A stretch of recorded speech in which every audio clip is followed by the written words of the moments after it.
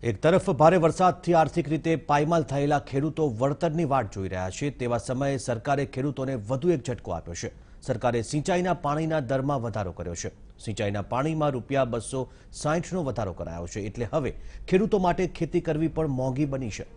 સિંચાઈના પાણીમાં બમણો વધારો કરાતા ખેડૂતોને આર્થિક રીતે ફટકો પડશે એટલે કે ખેડૂતોને અત્યારે પડતા પર પાટું જેવી દશા થઈ છે